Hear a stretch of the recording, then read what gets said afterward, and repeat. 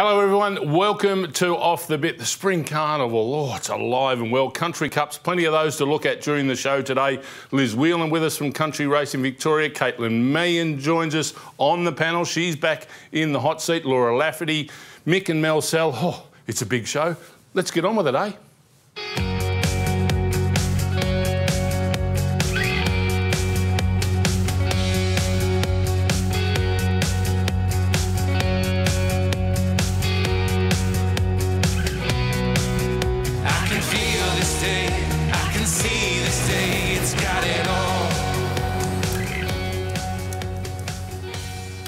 Have your company on Off the Bit, and of course, it's all thanks to Country Racing Victoria. Book a great day out at country.racing.com. Geez, a lot to get through today. Liz Whelan's going to help me from Country Racing Victoria. Liz, welcome again. Uh, good to be here, and we've got a huge week of racing ahead of us. I think we've got six meetings alone on the country on Melbourne Cup Day. And good to have Caitlin Meehan with us. Uh, we've taken her off the, the, the smaller television station. We've now got you back in the big league. Oh, I'd never forget where I came from, Simon. And Off the Bit's been a, a wonderful show for me, and I'm, yeah, I'm really looking forward to getting stuck into the, the country side of things. Enjoyed the spring so far on Channel 7? Yeah, the spring's been fantastic. I've um, I've had a, a wonderful spring carnival with Bruce and, and Hamish, and uh, yeah, it's been fantastic. But I uh, I don't forget the, the country racing and all the all the young apprentices coming up, and it's really exciting. Yeah, Laura Lafferty coming up a little later on, and she's absolutely on fire. She's kicked her career off with a with a real bang. Okay, let's uh, kick things off here now on off the bit and go to our out the back moments. Okay, uh, Liz, uh, your out the back moment. Uh, you've gone a bit picnicky on us. I have, look, I'm really excited about the launch of the picnic season that took place at Alexandra last Saturday. I think there are about 33 picnic meetings uh, throughout the season coming up. I would highly recommend getting along if you haven't done so. Uh, you can see there on screen Max Keenan kicked off the season really well. Uh, son of trainer Tiger Keenan, he rode a double at Alexandra. I think that the premierships are going to be really interesting to keep an eye on. It was Don Dwyer who took it out last year, the trainer premiership. He's an expat Kiwi. He actually used to be a harness trainer as well over there. And a Sean Cooper. Now, we had Michael Walker on the show last week. Sean Cooper is from the same small town in New Zealand, Waitara, as Michael Walker. They're good friends. I know that Michael helps out Sean with um, some riding advice. It was his first full season of rides last year, and he took out the jockey premiership. Michael also gave me some fashion advice last week. Did you take it on board how, during have the I, week? how have I gone with the check shirt and the, the, the check blazer? I know You're great, Simon. Thank you. Mick glad Walker said I just look like a. He said I look like an old fat old man. And I thought, oh, he's probably pretty right. Yeah. That was last week. He's a week. confident I'm- fella, isn't he? yeah, oh, he, he calls us spade. He does call us spade a spade, Mick. Caitlin, um, uh, you're, uh, you've got an interesting experience for us. Uh, Yeah. With your out the back moment. So my out the back moment is from Sale on Sunday, and it's from the clouds that we will see in barrier ten. Just didn't, just refused to jump out of the barriers, and uh, I think this horse is trained by Matt Laurie, and yeah, she just uh, didn't want to go anywhere. Extraordinary that a, that a horse would, would do that. Have you ever had one do that in a I, race? I have had a couple do it, and the one that's most recent was uh, a horse of Lloyd Williams called Doomeran, and, and he never jumped out of the barriers at Flemington. And then he just walked out and watched the whole field go round, and, and he was happy as Larry. and, and any re- like, is there a, reason behind it? Is there is it you know a horse being sore maybe? What, Yeah, well, I Did we guess get so. to the bottom of it? Yeah, they're pretty smart animals, and if they if they're a bit sore or they're feeling something, I think that they can just stand there and uh, not want to participate. And I mean, we had Mighty Chautauqua, of course, Mm. that didn't want to jump out of the barriers, and no matter what, he didn't jump. So, yeah, they're, they're pretty intelligent animals. Mm, well, intelligent they may be, they can make a fool of an owner. Because I remember one day at Ballarat, I had a horse having its first start and it laid down in the mounting yard. and unfortunately, there was a number of high-profile people owned the horse that uh, had access to. Um, being on air on radio, and I've never been castigated like it in my life, um, and uh, never had it happen a- again. A bit like Um, a camel going yeah, down. Maybe you just was- wanted to get the jockey on top. Actually, the way it ran, it was like a camel. At the end of the day, it was like a camel when it did stand up in the mounting yard. Okay, my out the back moment. Uh, Long Jack at Geelong. Uh, gee, uh, the the Baker Forsman uh, team can uh, get a horse up here, and Southern Moon the Grey uh, hits the front, and uh, Long Jack uh, runs him down and goes into Derby uh, contention. Um, it's uh, a son of So You Think, and gee, you know they're just uh, wonderful how they can they can find a horse. And Murray, Murray Baker's been a wonderful horseman for a long time. Yeah, he's had some very, very good horses over the years and a lot of success over here in Australia as well. And of course, his son Bjorn here as well. Mm, and of course, Damian Lane rode that horse to, to victory there at Geelong. But gee, what a week he's having after winning the Caulfield Cup and the Cox Plate. That's some sort of vein of form. You know, for for him to go to Japan and then say, "Oh, well, what you should do is bring um, this one out for the Caulfield Cup and this one out." I think they'll that'll win the Cox Plate. It's not worked a out bad pretty effort. well for him. Yeah, hundred percent strike rate at the minute. Quite remarkable, isn't Oh. it? He's the only jockey in in uh, in one year to win three majors in the Golden Slipper, Caulfield Cup, and the Cox Plate. Can, um, can the Caulfield Cup winner win him the Melbourne Cup? Yes, he can. I think so. Okay. Confident? All right, we'll talk about that uh, a little more later on. Okay, time for our whip around, and uh, gee, the country trainers have had a, a really big week uh, in town, and it started with WT winning at the Valley on Friday night. Uh, Paddy Payne having an excellent run. Yeah, and we discussed this horse, I think it was on last week's show. This has been quite a dominant performance here, running away with it late in the piece. Yeah, he certainly is in a rich vein of form, uh, Terry Bailey, with the call there, and uh, he's, ste- he's just kept stepping up in grades and uh, and winning, and uh, you would think there's a lot more in store for WT. Broadway and fourth, another um, uh, winner for Mitch Freedman, this time at listed level on Cox Plate Day. Yeah, she was dominant, and uh, yeah, I, I really like the way that she attacked the line. It was a lovely ride from Ben Melham, and you can see how easy she did it. Right on the line there, she's pricking her ears. So you'd think that there'd be bigger things in store for her, and uh, I'm sure they'll raise the bar. Yeah, possibly to the Coolmore. We'll find out in the next uh, day or two whether uh, Mitch Freedman ch- chooses to go to the Coolmore with Broadway and fourth. Soul Patch for Kenny Keys. Uh, gee, he was impressive uh, at the Valley um, at Group 2 level, and look at him here. Uh, he just sprinted over that last furlong and uh, put paid to Moreland Maid there running second, one of the favourites for the Oaks. Uh, excellent effort. And he's certainly another one who's raced into Derby contention. I think he's paying about $5. Do you rate him a chance? Yeah, I do. I just love the way, actually, on the line, he looked like he was just warming up. I think he could have done another lap easily. So I think he's a, a major player in the Derby. Dwayne Dunn from his previous race at Caulfield said, "I'll possibly put some blinkers on for his next run, Kenny," which he did. Um, now he's going to step up to the 2,500 metres of the Derby. Apparently, blinkers still on. Good decision, bad decision. Oh, I think it's a good decision, but I'm not a jockey. so- Yeah, I, I wouldn't Good change decision, what bad decision. I wouldn't change what's working at the moment. And Kenny's a really good trainer, so I'm I'm confident. Okay, all right. You have it here uh, on off the bit. Our two experts have said no, good as gold. Leave those blinkers on. No blinkers needed for Harbour Views at the moment. Five starts, five wins. Uh, a young horse really uh, making his way on the country scene. We'll go to the Country Cup on Thursday of the, the Spring Carnival. Uh, was a was a really uh, very much a, billed as a match race with Impy on the inside, uh, and he, he got the job done again. Harbour Views. Yeah, and look, it's ex- exciting when you have those match races. But the other thing, I just love it when you've got these unbeaten runners because now five out of five, and how far can he go? Yeah, well, he's a bit of a workman's like horse. He just gets the job done, doesn't he? He doesn't look like he's got a lot of X factor about him, but he's just he, he's just a real winner. Yeah, it'd be interesting as they step uh, Harbour Views up in grade. Uh, the guy who loves the top grade is Prince of Arran. He was too good for them uh, at, at Geelong. The one kilo penalty got him into the Melbourne Cup. He ran third last year. And uh, he was uh, very strong in a fast run Caulfield uh, Geelong Cup this year. Yeah, he's a he's a tremendous horse. He's a great stayer, and I think that um, you know obviously he's. He's got the ability, he's got the talent, and, and everything's just been working out perfectly. But he just goes to another level in Australia. Like his overseas form's good, with not without being outstanding, but he just goes to a new level when he comes over here, doesn't he? Yep, he does, and loves the two mile. Uh, was very competitive last year, so expect the same uh, this year in the uh, 2019 version of the Melbourne Cup. Okay, surreal image uh, under Campbell Rawiller. Gee, uh, hasn't uh, he had a start to his apprenticeship career? It's just been incredible. Um, only 33 days after getting his first win, he's managed to ride out his 4kg claim. Yeah, I think he's ridden seven winners now. He's just going from strength to strength, and he's with Logan McGill. And uh, Logan was a really good jockey himself, a great apprentice, and now a horse trainer. So I think uh, he's got the right grounding. Yeah, from the uh, Sonata Cup to the Sale Cup on Sunday, and Goldfields was uh, too good for them.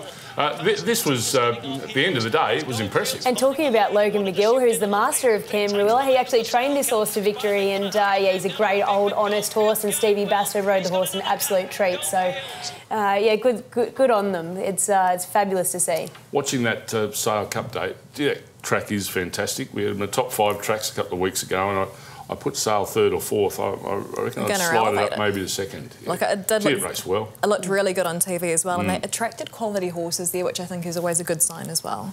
Okay, well, we attract quality here on Off the Bit because we're going to take our first break and come back with, well, uh, a rider couldn't get hotter at the moment, Laura Lafferty.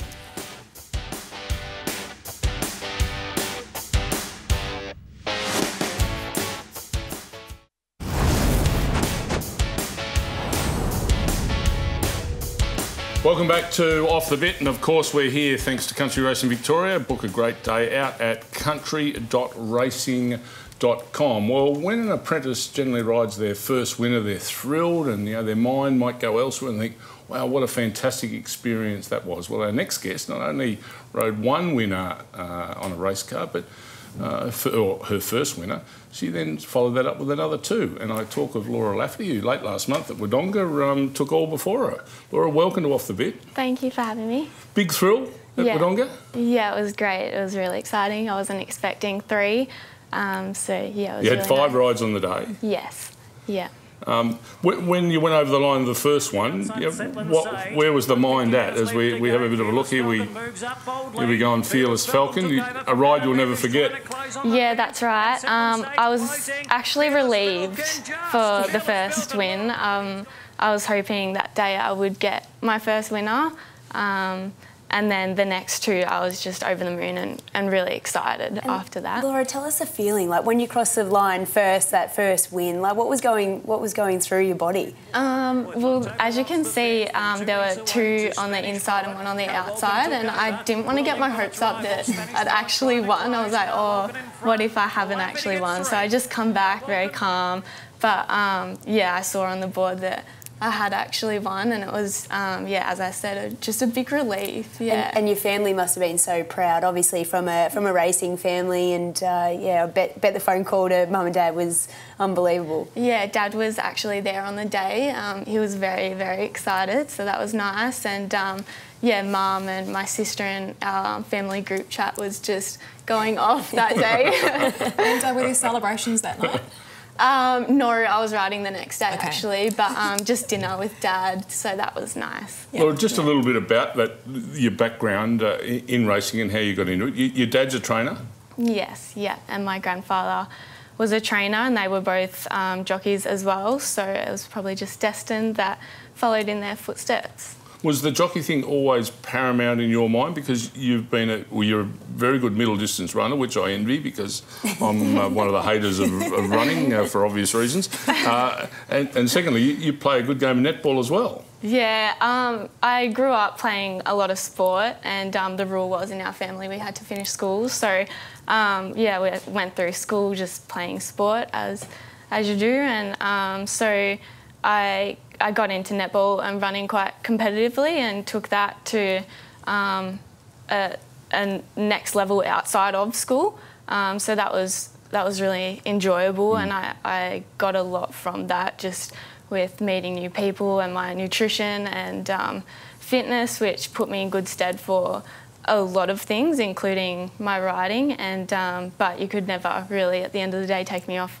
a horse. It was always, um, yeah, it was always there. So I ended up. So did you yeah. do like did you go through pony club and stuff like that? Yeah, I was Yeah. doing. Uh, we were very busy kids, so um, yeah, we still did pony club and went to state show jumping and eventing. So mum kind of drove me around to my sporting events, and dad drove me around to my horse riding events. So we were always very busy. But it's credit to mum and dad; they um, very busy parents as well. And I think you're being quite modest in terms of your running ability because you won a lot of gold medals at state level, and I think you were even offered a scholarship in America. Yes, I think I added them up the other day. It was 16 gold medals. Um, I won my first one when I was about 15, um, but my, my greatest achievement was probably nationals, um, running um, individually, not um, like with the school. I was, I was with the uh, Melbourne Track Club. So um, I think when I got out of school and into a track club, that got quite competitive quite quickly. Um, but yeah, um, I was I was really glad to get the scholarship. It was a dream of mine since grade three. I can remember very vividly.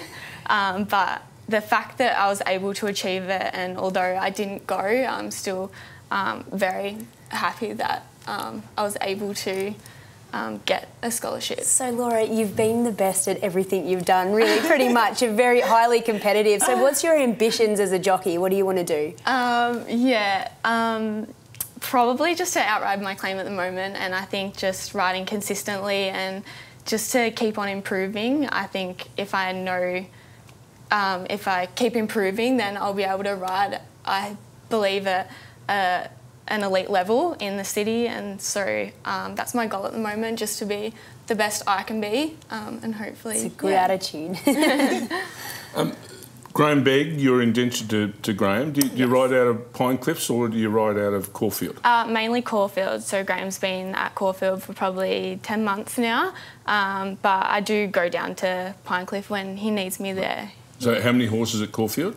Um, there's about 20 at Caulfield. Right. Yeah, Okay. and about 15 at Pinecliff. Okay, and how many will you ride of a morning for Grahame? Um, around, probably around eight, and I do a bit for John Sadler. Um, Henry Dwyer there, Mick Price has also been, and Michael Kent Jr. have been great support. So and Nick Ryan. So Caulfield's been, um, yeah, really great. and have you got many role models? Who do you look up to? Um, Katelyn Mallyon. yeah, yeah. Um, I do a bit of work for Patrick Plain. He's been very helpful. Um, without him, I probably wouldn't be race riding. Um, uh, Nick Ryan's helped me a lot just with race analysis, um, so that's very helpful. Uh, probably those two, and I, uh, jockeys at the moment. Probably I like watching Mark Zahra. Yeah. Okay, uh, well, you made a, a dazzling debut up at Wodonga, and Laura, we're going to keep you in with us while we go to our dazzling debuts, and we've got a dazzling de- debut coming from you as well.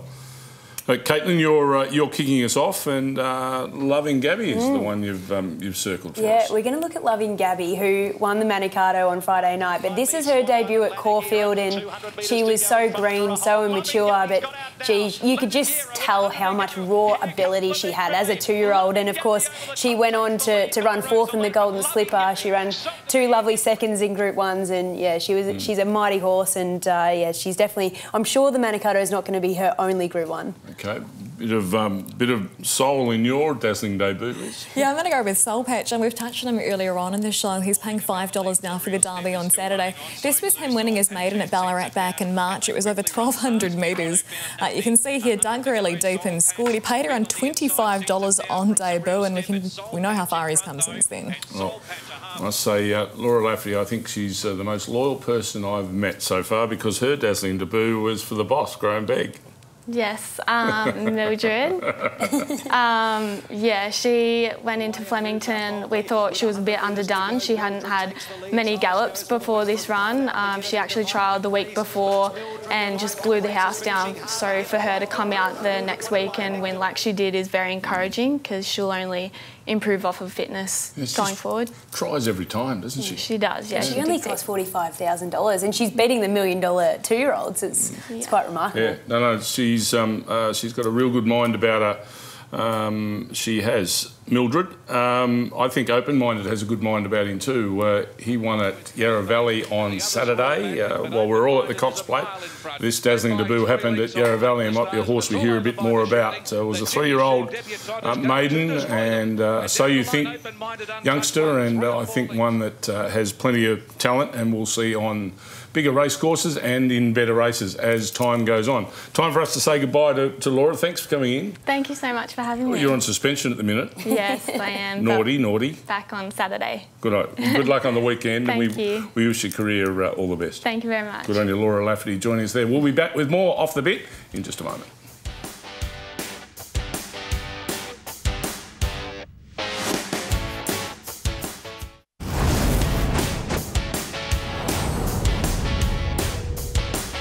Welcome back to Off the Bit. Time now for Liz Whelan from Country Racing Victoria to absolutely shine because she knows all about uh, this week in country racing. There is a lot coming up this week in country racing. It all gets underway tomorrow with Jayco Bendigo Cup Day. This year, the big race is worth $400,000 at Group 3 level. Thursday, we're racing at Seymour, and Friday, we're off to Tatura. Saturday, big day in the city, also a big day in the country. We've got Derby Day at Latrobe Valley. Bet365 Mortlake Cup Day. They're celebrating 150 years of racing. Elders Mount Wycheproof Cup Day. They're expecting a big crowd, and we'll be catching up with Jackie Noonan from the club a little bit later on. Also, Derby Day racing at Hills. Well, I think there might be a few bucks parties taking place there, from what I understand. So it should be an interesting day. Uh, Monday, we've got Melbourne Cup Eve racing at Ballarat, and Tuesday, as mentioned, is enormous. We have got racing at Bairnsdale, Wangaratta, Mildura, Cranbourne, Echuca, and also at Mansfield. So plenty of country options for you on Melbourne Cup Day. So um, Mortlake, an interesting one. 150 years of racing, and Caitlin, I understand that you've actually won a Mortlake Cup. Yeah, it's actually the only cup that I've ever won, Liz. um, yeah, I went there. I think it was in 2011. I won the Mortlake Cup, and I was on one of the favourites uh, for. Uh, for Luke Oliver, Diamonds on the Inside. So, uh, yeah, I'm a Mortlake Cup winner. Never Oh, wow. forget it. Okay. and uh, a good day, the Mortlake Cup. I hear really good things about the Mortlake Cup. Yeah. Oh, they all the Wycheproof. They all get the biggest crowds. It's it's actually um, even at the picnics. It's just a really good atmosphere, and yeah, people just genuinely having fun, and it's yeah, it's the best best day out really. Well, talking of big crowds, uh, Caitlin, uh, the Jericho Cup comes up in early December. And just updating you on that uh, early December race. December 1, of course, the Haymes Paint Jericho Cup will be run uh, on December 1. Book your tickets to the Bull for a great day out, and it is going to be an absolutely fantastic day out. Uh, massive success last year, Liz. I'm expecting bigger and better things this year. I think so. I mean, last year was the first time it was run. They got 4,300 4,300 people there on track. The first time the event has been run. So I think they're aiming for, you know, potentially even up to 10,000 people. They're going all out with the promotion and um, definitely worth booking the tickets online.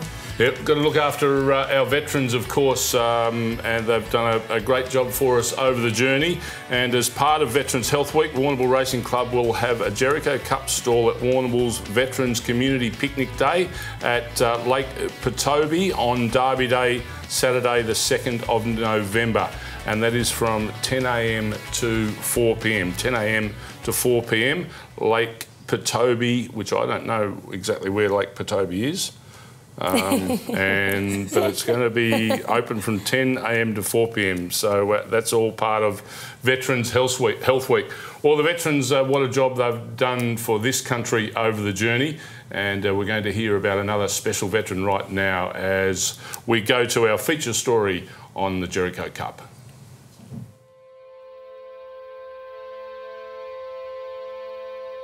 I served in Cambodia early 92 to early 93 for the full uh, two service periods for a year. Uh, my role in Cambodia was a field communications person and we went there to provide field communications for the UN staff as they moved into the bush. Looking back on it now, I think it's pretty bittersweet for the state that Cambodia is in at the moment, but at the time it was about relationships with your mates and all the good that we did when we were over there. So I met Stuart not long after he'd come out of the army. I don't think it was a very good transition for him back into civilian life. I think on the surface it looked okay. He was functioning fine, but underneath nothing was being dealt with. My transition into family life was terrible. Spent most of my time alone or with a very small group of people. Honestly, I would find the drug of choice and lock myself in the house for days at a time and just see it through in a bit of a haze. On a bad day, it uh, there was no Stuart there. He was shut down, uncontactable, couldn't have a conversation with him. There was no rationality there. Does any veteran return from war unscathed? No. You always come back with something.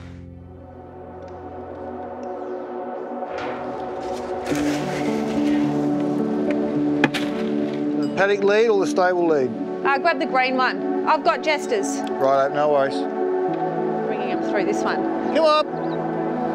Come up. Equine therapy has a massive ability to change a veteran's life. I think Stuart's a perfect example of that. Go on, you three.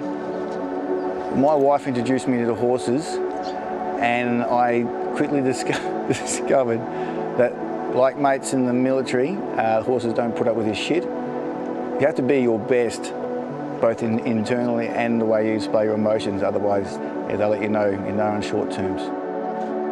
Stuart's involvement is a lot of groundwork with the horses. He does do a little bit of riding as well. It helps them and him. It gets them used to being handled by humans and how to read our body language, how we read theirs.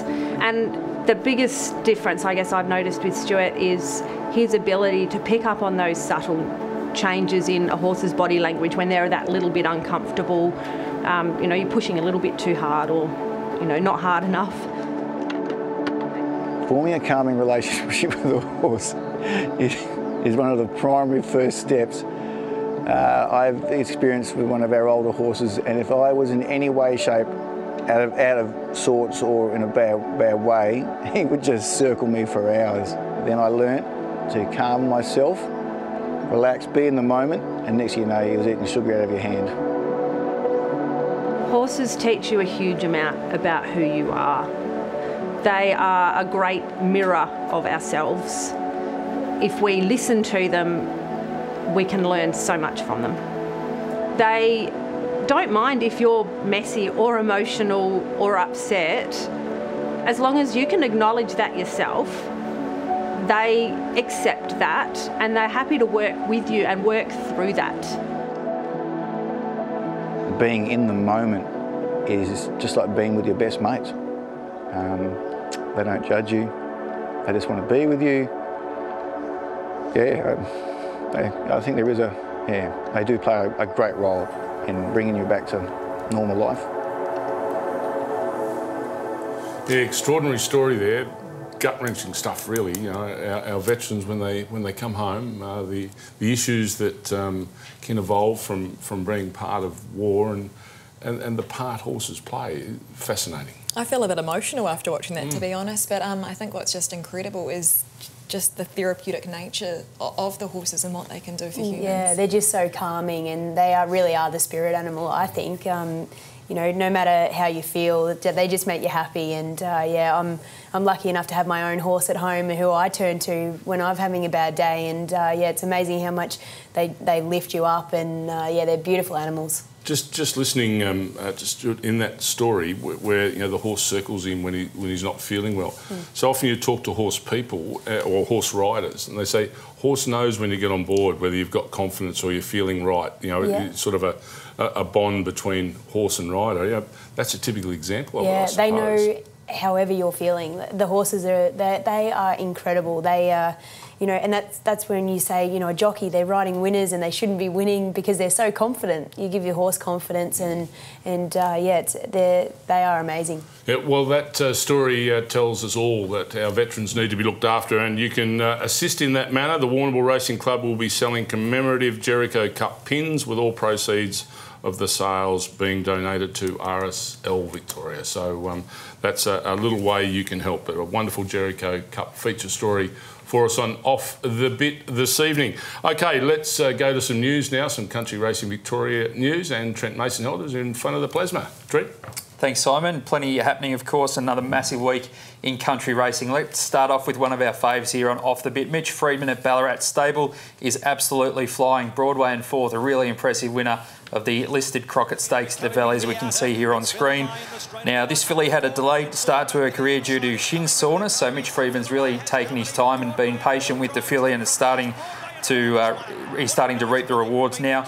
He's eyeing a race long term, like a race like the Sangster in Adelaide in the autumn, but she could be a surprise acceptor in the Coolmore stud up the straight against the boys on Saturday. Mitch Freedman, in speaking to him earlier today, said, I want to see how she works tomorrow morning and how she comes through that gallop. So we might see Broadway in fourth tackle the big boys up the straight in the Group 1 at Flemington on Saturday. Another one of his stable stars, an emerging star, Southern Moon, a son of Puissance de Lune, ran really well in the Geelong Derby trial and uh, he will be pressing on to the Derby up against the uh, three-year-olds in the staying contest there. He's a certain starter. And Moonlight Maid uh, may also contest the filly, may also contest the Kennedy Oaks at Group 1 level. So plenty of live hopes in Group 1 races for Mitch Freedman, who's having a really good run of it at the moment. Speaking of having a good run, Kenny Keys at Cranbourne, he's got his stable going really well. We saw Spanish Reef return to form recently, but Soul Patch, one of the more impressive winners on Cox Plate Day at the Valley. This was absolutely sensational, and uh, we'll see the replay here under Dwayne Dunn. Shades going on for the first time. He was luckless in the Caulfield Guineas, and he turned it all around. And when he went bush and Dwayne Dunn pressed the button, he was off and away, and he's going to be hard to beat. In the Derby, he backs up in the Derby with the Shades staying on, so he will wear blinkers in the Derby, I can confirm having spoken to Ken Keys and Dwayne Dunn, again stays on board. Spanish Reef, he's good mare. She'll go around in the Group 1 Empire Rose against the mares over the mile 1600 metres at Flemington on Saturday. And last start, uh, winning rider Mark Zahra stays on board. So good luck to Ken with his good horses there. Matty Williams, he's got the very promising Harbour Views. We've already touched on him. Five from five, going really well, this horse. One of the emerging stars of Victorian racing. He won the benchmark 78 at Geelong, at Geelong on Cup Day, as we see here. He's got the $500,000 Flemington final that he's had in mind all along, Matty Williams. He's been wanting to get the horse to that race on Oaks Day, and he had to run first or second in that race at Geelong to qualify. He, of course, won that race, so goes into that final where John Allen will ride. Speaking long term, or in terms of his long term plans, speaking on SEN radio last weekend, Williams said the horse may go to the Ballarat Cup, he may go for a spell, or he may, in fact, head west and go to the Perth Carnival, although that's probably looking more unlikely than likely at this stage. The Bendigo Cup on tomorrow, the Jayco Bendigo Cup shaping as a really good race. 16 runners, we've got a full field, which is good. Uh, the Group 3 Jayco Bendigo Cup, Chris Waller has three horses engaged, launching a three-pronged attack with Brimham Rocks, Patrick Erin and Captain Cook. Nick Smart and Josh Julius will fly the flag for the locals, of course, with single-handed and Supergirl respectively. And three Rawillers riding at the meeting tomorrow, not in the Cup, but they will be there on the day. Nash, of course, back from Hong Kong and has been back for a year or so and going really well in Sydney, down for the day. His brother Brad, who's a stalwart at these country meetings, and Nash's son Campbell, who we've touched on earlier, who's making every post a winner in his fledgling career. So three Rawillers on Cup Day at Bendigo. And guys, unfortunately, we finish on a sour note. Tragic news coming through on Monday with the death of former Wodonga trainer Brian Cox, who was tragically killed in a truck accident. Um, Brian is the son of local legend Ollie Cox and trained for more than 40 years. Won his hometown cup no less than 11 times, an unbelievable achievement. And we pass on our sincere condolences to the Cox family and Brian's friends. No, we certainly do. Uh, thanks for that, uh, Trent. Uh, we're going to take a break now on Off the Bit. Mick and Mel Sell coming up shortly.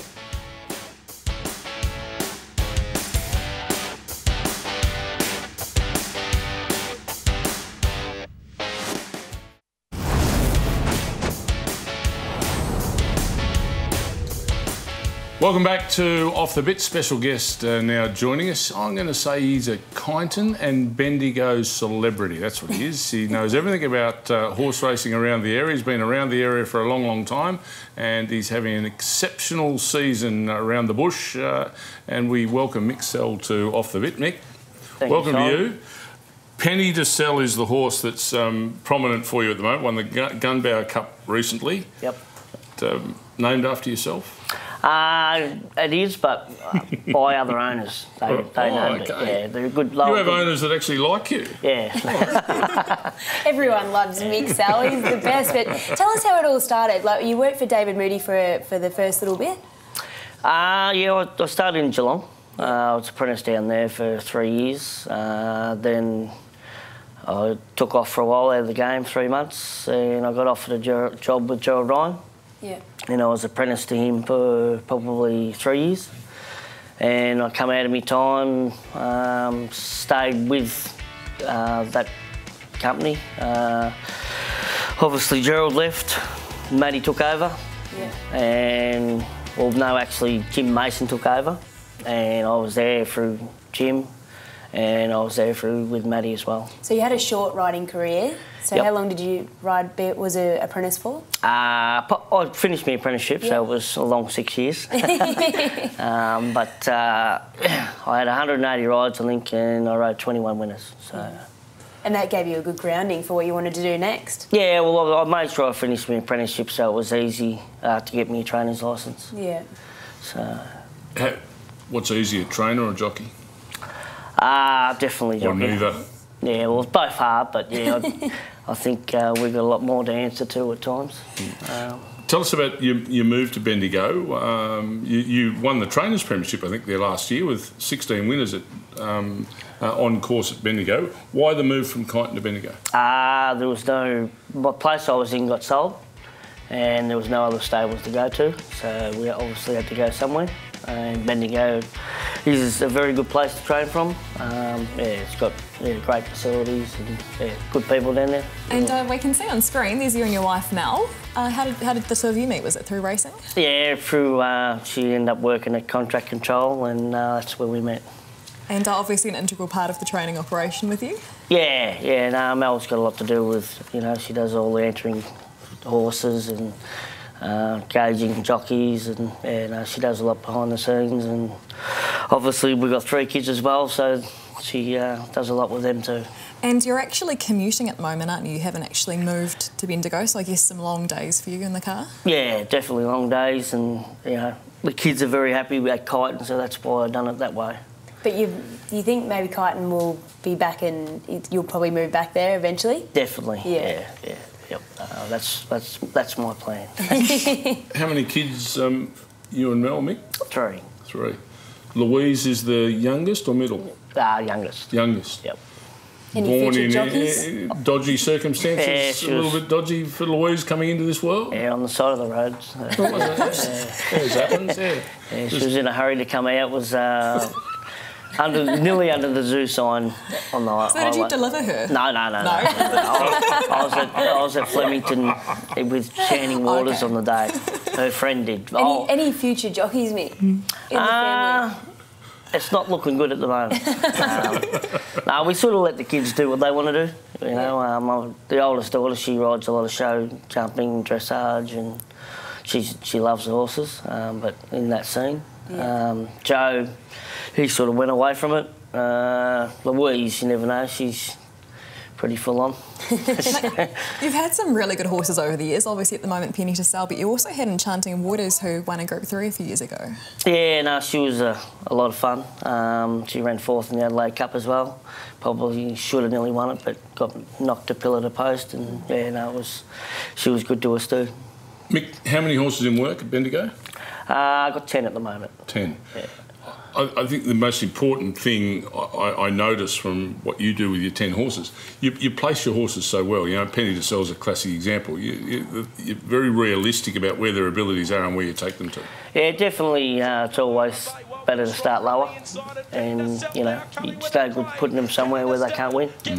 Um, you know, it's obviously you've got to have nice horses to be in town. So, Mick, on, 2000, on Australia Day 2012, you took five runners somewhere and five of them all won. At Kyneton. At Kyneton, yeah, it's amazing. What a day. Yeah, well, obviously, uh, you know, yeah, you don't plan it, but it did happen, and yeah, it was amazing day. Yeah. How do you think Penny Sell has won over everyone? I mean, she nearly got into the All Star Mile. It's, it's actually been quite incredible with her. Yeah, I just well, probably a lot of followers. She's always got up at a nice price, nine times out of ten. Um, uh, and yeah, just yeah, that side of it, I think we're just lucky. We got a winner at Moonee Valley with a nice price too. Remember Derby Eve? I think it was about four years ago. Yeah, yeah, no, he was thirty to one, and, Yeah, and we Highland done Road. well. Yep. I think it was the night. only race he won over two thousand. Mick, you're a busy man. You, you pre-train a few, you break in a few. What, what are the best ones that have come through your hands over the journey? In what sense? As in what I've trained myself, or What you've trained yourself and also secondary, what you've broken in and pre-trained some uh, stages. probably Black Bean, Okay. Paint, um, Hurricane Sky. Um, uh, my side, Enchanting Waters as a trainer, um, and Penny to Sell. Mm. And Carlingford, he's been good to us. Yep. Um, yeah, we've, we've always been pretty lucky that we've had a good bread and butter horse going through the system. It's funny, we, we look forward so much to the, the, the spring season starting and the, and the big races coming around. Then they seem to just disappear into the into the atmosphere and you know, yearling sales are upon us. You know, Christmas is upon us, yearling sales. What's an attitude you take to yearling sales each year? Uh, look, I don't really buy a lot. Um, I've been very lucky to come across homebred horses and had a lot of luck with them as well. Mm. Um, people breeding their own horses, and yeah, I've had a lot of luck that side of it. Okay, and you don't see that philosophy change, changing soon? No, not really. Um, yeah, unless someone wants to buy for me. Maybe you, Simon. Sorry? Maybe you can buy him a couple. Not with these cheap jackets I wear, no. Um, no, no pressure, but we wouldn't mind a winner as well. Now, where is Raid the Cabinet heading this weekend? Because I see that it's nominated for uh, Mount Wycheproof and Mortlake. uh, I'm looking at Mortlake at this stage. Okay. Yep. Do we put a dollar on? Uh, well, he's still going well, so yeah, it's worth having something each All way. right, good to know. Nick, very important question, um, one you'll remember for a long time. I'm assuming you don't mind a pie. No, I don't mind a pie or beer. Okay, wasn't going down the beer track, but we'll stay on the pie track. Best pie you've eaten in Victoria? Ah, yeah, Kyne's got good pies. Oh, the, the bakery across the road from the old post office there. Yes, Yeah, the old one? Yep. Yeah, they do go okay. Yeah. Mm, they do go all right. Well, Mick, as we, uh, as we say goodbye to you, thank you for, um, uh, for being part of the day.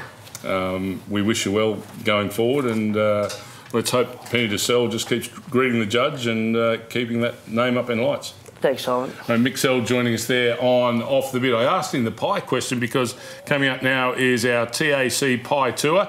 Mick and Sam, they're out and about and they go to a place I know pretty well and I know they've got a darn good pie. And that's Tooborac.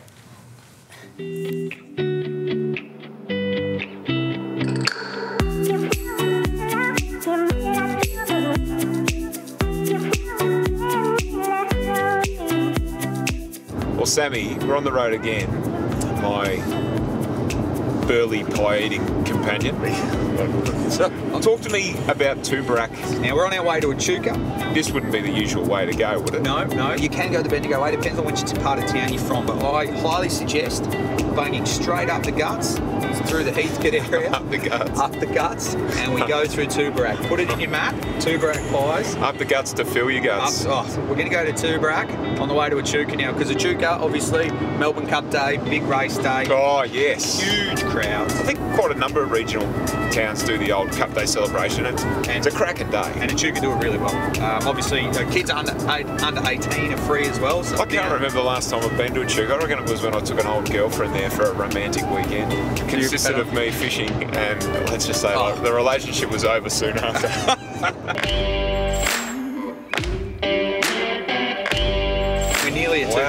it's perfectly balanced about halfway. Yeah. So, and they do really deep dish pies. We're about yes, to find out. because up until this point, we've been on the shallow numbers, the Yeah. little rectangular or the oval, the old school oval but shallow situations there. So we're in the deep, the deep stuff. Yeah, and there are some really good ones to choose from. Sounds good to me. All right, let's do it. Tubi pies, bam.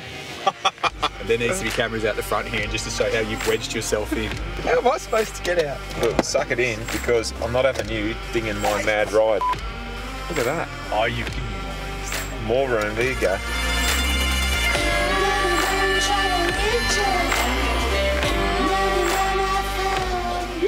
Look at this. What money? Okay, mate. How can we help? Can we please grab one of your famous beef and beers and one of your famous beef and chili spreads? Spicy. Yeah.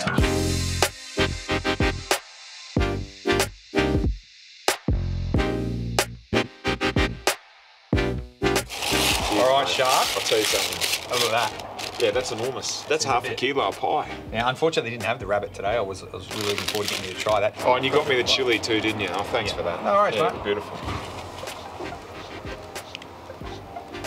Oh, a bit of, you got to get through the pastry on this one. There's a lot of depth. It's a thick wall. That's burnt you, hasn't it? There's some chili in that. Get a shot of that. Big, stringy, soft, beautiful. I can see why there's a brewery next door. You need it to tame the tiger. Give me, give me a review. In Scoville units or in like, honestly, that's the best pastry I've had. The meat's nearly the best too. You know what? I'm gonna go eight two. Hey, good. That's It's bloody good. Flaky pastry on top. I'm gonna, I tell you, I'm going to match you. I'm going to say eight two. I'm happy to walk away from here. Great. Yeah. They sell milk here. Well done, Tooborac. Yeah, the boys in search uh, of the best pie across the state thanks to TAC and you can be races ready this country racing season and lock in a safe ride home for your hometown hero.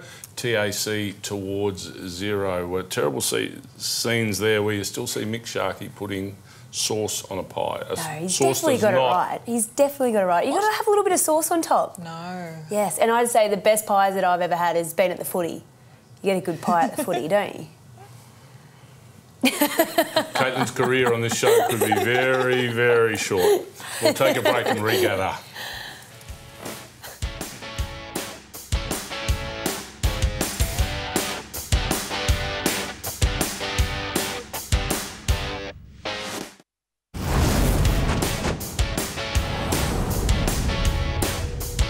Welcome back to Off the Bit. As we heard earlier, Liz Whelan told us about all the cups that are coming up uh, this week, and uh, the big one is tomorrow at Bendigo. Aaron Herbst joins us, uh, the CEO of the Bendigo Jockey Club, on the uh, phone. Aaron, uh, welcome to you to Off the Bit, and tomorrow, sunny, fine, 26. Perfect.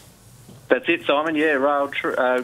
Tr- the, the rail's in the true. The track is good. The weather's fine. So uh, yeah, we're looking forward to a bumper ten race program tomorrow. And a good field in the cup, uh, plenty in it. Yeah, it's the first time I think we've had a full field of 16 for many years. So um, yeah, it's pretty even too. I think the bookies have got it sort of five dollars a field. So uh, it should be a pretty uh, pretty exciting race. And for the people on track as well, I know you were going to have Chautauqua leading the field up, but you do have Efficient leading up the Bendigo uh, Cup field tomorrow. Yeah, we replaced one grey with the other. Um, poor old Chautauqua just did himself a bit of mischief in the back of a horse float, so he's fine and going uh, going great guns now. But um, the owners didn't think returning to the racecourse just yet was the uh, in his best interest. So uh, Efficient put up his hoof, and we're uh, looking forward to welcoming him uh, to the racecourse. I can go out the gate, Chautauqua. Oh, Yeah, just standing it's, about the gate. Sorry, I probably should have said that. Aaron, um, uh, you know, it's one of the, I suppose, most respected country cups in, in recent years. So plenty of those horses tomorrow. Looking forward then to the to the um, Tuesday, uh, six or seven days later. You know, that that makes so much interest in a race like this.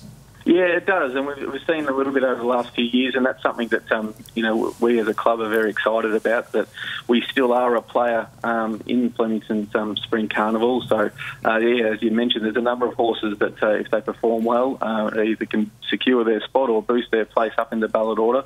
Um, so it's it's great to be a part of uh, what still is the biggest uh, day in, in racing, the Flemington Melbourne Cup, the week after. And Aaron, for people heading along to the track tomorrow, what kind of activities can the on-course patrons expect? We've got lots of live music, um, DJs as well, uh, roaming entertainment. We've got a, uh, a complimentary after party, which kicks off at about 5.30, just after uh, race 10 is run and won.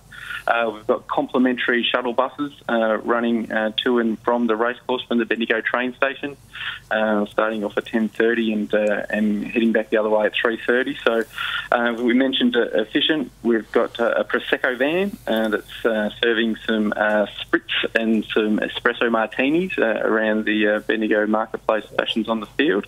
Um, we've got exclusively equine clothes. Uh, uh, serving some of their clothes as well, having them on parade. So there's plenty there for uh, for all ages. We've got the face painter there for the kids as well. So uh, yeah, plenty of entertainment for everyone. Aaron, important for me. You're still doing a Gillies pie at Bendigo? Yeah, Gillies pies. It's uh, they're harder to come uh, by these days, Simon. Um, yeah, the couple of Gillies uh, bakeries that we had around Bendigo are, are, no longer, so you have to look a bit harder. I know some of the um, different supermarkets still stock them, but uh, yeah, we've got plenty of great uh, different food trucks and different food uh, outlets on, on course, so uh, something for everyone there as well. Always a great day, Aaron. Thanks for joining us on Off the Bit. Thanks for your support, guys. Good on you. Aaron Herbst joining us now to um, Jackie Noonan uh, at the Mount Wycheproof and District Racing Club. Big cup day for them on Saturday. Uh, Jackie, welcome to Off the Bit. Uh, all in order for you on the weekend? Hi, Simon and, and Katie and Liz. Yes, we're, um, we're certainly set for a record day of racing, and um, there's plenty of us down here at the track at the moment, eagerly preparing and um, yeah, ready to celebrate Derby Day in the country. And uh, Jackie, last year you got over 3,000 people to the track. How many are you sort of expecting this, this weekend? Look, um, we're expecting around similar numbers. We, we do nudge around 4,000, or we have had slightly over, but um, we're comfortable with that. The crowds are always happy, and our facilities um, support those numbers. So, each year it's the same people coming back to Mount Witchy because they love it, and it's um, the customer retention that we're really proud of. And um, what will be happening on the day as well in terms of entertainment? Look, we've got we've got all the usual things. It's family friendly with the kids racing on the track after the last. We've got our bird cage, which is um, which is always a party atmosphere. The area full of old bird cages that have been collected from around the Mallee. Um, we're all excited to see Madison Lloyd. Uh, she's a young apprentice from up Swan Hill Way, and um, she'll be riding in the Cup. And I understand she recently won the Deniliquin and the Pooncarie Cup. Well, uh, that's good form, the Deniliquin Cup. I was born and bred in Deniliquin, uh, Jackie, so that's massive form to be bringing to Wycheproof. Yeah, well, we're pretty excited. These young females coming through the ranks, um, we support them, and we hope she has good memories of riding at Witchy. So, fingers crossed for Madison. No, I'm sure, I'm sure that will happen. Uh, Jackie, we wish you well for a big weekend. And thank you, and everyone tune into Sky. It's our first time ever. Thank you. Good on you, Jackie. We look forward to uh, watching as well. Um, well, we wish we were watching live uh, at the track, but we'll be watching from afar. While all that's been happening, Katelyn, you've made your way in front uh, of the plasma and talk to us about some ripping rides. Yes, my ripping rider is Campbell Rawiller in the St Arnaud Cup, which we're going to have a look at. I just love this ride because he just he rode the horse so confidently. He rolled along from about the 800 metres. He had everything beaten, and uh, yeah, just I just love the way he's going at the moment. He's really sitting down nicely and punching them out. And of course, we know Nash, his father, is one of the strongest jockeys that you know Australia's ever seen. So uh, yeah, he's, he's going the right way, uh, this apprentice, and he's plenty more wins in store. I reckon no hotter than Campbell around at the moment, and the three Rawillers on track tomorrow at Bendigo. Um, Nash, Brad, and and Campbell, which will be spectacular. Yeah, he's got big shoes to fill, but I think he's going the right way. Yeah. Um, uh, wonder what it's like. And Katelyn, I suppose you know you, you rode against your brother. What's it like riding against a family member? Well, it's. Uh, it, I think it, it, turns you on more, really. To be honest, it, uh, we were so competitive growing up, and uh, yeah, Andrew and I we were forever clashing. And you know, if you go for a walk in mum and dad's house, it's either a photo of me on the wall beating Andrew, or vice versa. So oh. yeah, I'm sure it'll be the same in, in the, any family. Yeah, good on you. Thanks, Katelyn. Um, we'll be back with more on off the bit in just a moment.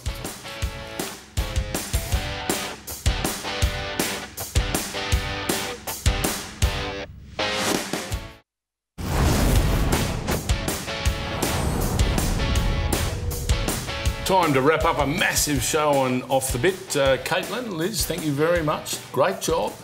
Next Thanks. week, Wednesday, not Tuesday. Can yes. you believe that? I can't believe oh. we've been bumped, to be honest. I've yeah. been bumped for the Melbourne Cup. Don't know why. How could you bump off the bit for the Melbourne Cup? Oh, well, we still look forward to your company next Wednesday. Bye for now.